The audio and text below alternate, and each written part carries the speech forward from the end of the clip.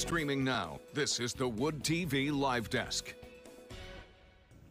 Good afternoon, everyone. Phil Panarski here with the Wood TV Live Desk. Hope you're all having a great start to your Wednesday. And since it's Wednesday, as always, News 8 digital reporter Matt Jaworowski joins us to talk about his latest Sunday story.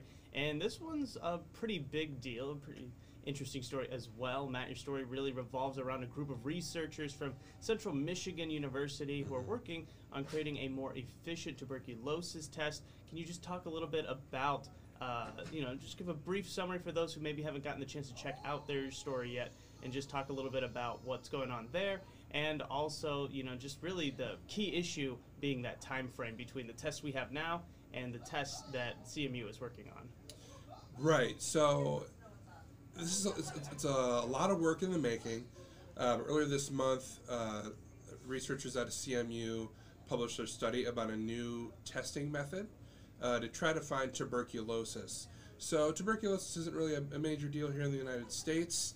Um, it's not really on our radar, but worldwide, especially in third world countries, TB is still a major problem. Uh, according to the World Health Organization, um, outside of COVID, TB is still like the largest in, uh, infective uh, disease, uh, Mhm. fatality wise. And av- roughly 1.5 million people each year die from tuberculosis. More than 10 million people contract an infection. So, in, in certain parts of the world, this is a major deal. Now, this new test uh, that's being worked on by these researchers at CMU, uh, ba- basically, they came up with an entirely new method. So, currently, uh, tuberculosis, they use uh, tests, uh, culture tests, to try to uh, find uh, antibodies or these, these active TB bacteria.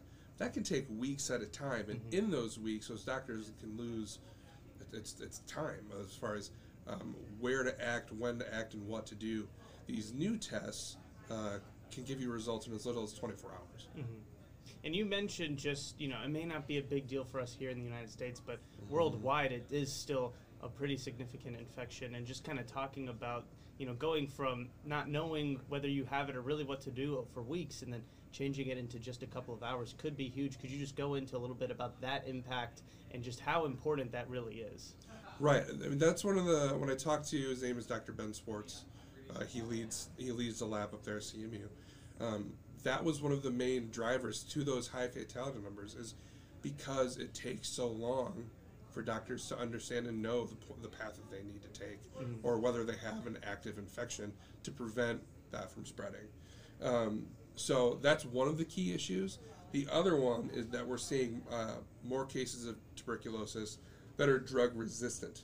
Um, so the more that those are able to spread, the more difficult that's going to be able to treat. hmm Right. No, and uh, one of the things you know we were mentioning a little bit before we went live was just uh, you know just the time that it's taken a lot of these researchers to even get this far so far in the process. Can you just go Mhm. into a little bit about that and uh, what Dr. Swarts has been working on over the past decade? It seems like.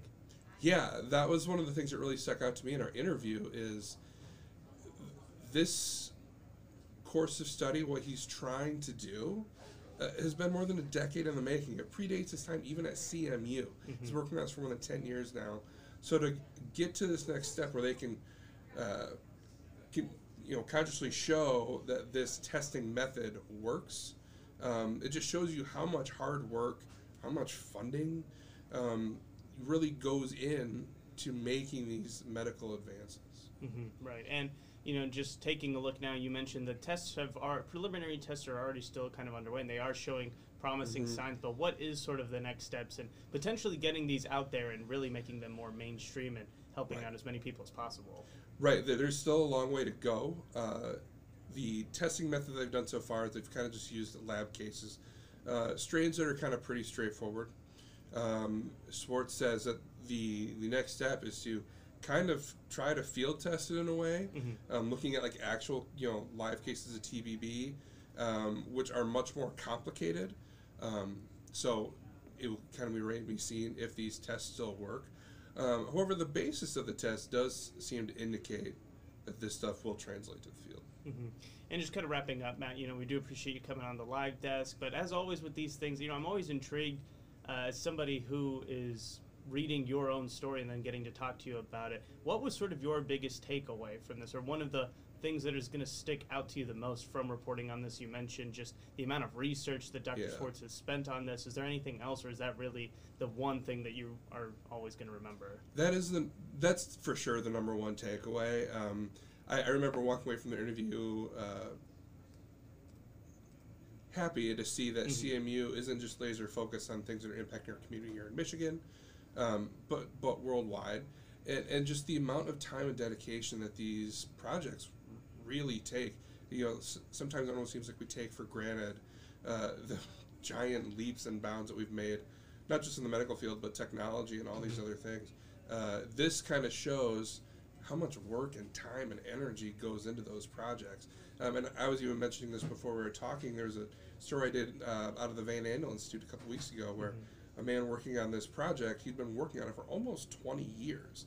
I mean, that's like a major part of your career dedicated to one simple thing, tackling one simple problem, um, and, and completely uh, solving it. Right, absolutely. And I do want to recommend everybody checking out this story. It is a huge uh, deal, obviously, of what we've been talking about, and it is uh, set to be a story that we're going to be keeping a close eye on over the uh, coming weeks and months, and however long this testing really does take. And uh, hoping that we can eventually see the CMU researchers really get their credit for putting together uh, this new and more efficient test. Matt, as always, thank you so much for joining us on the live desk. If you haven't checked it out, I do encourage you to do so. If you're watching us on Facebook, you can find a link to it right now in the description box and comments section below. Matt, as always, thank you so much for being here.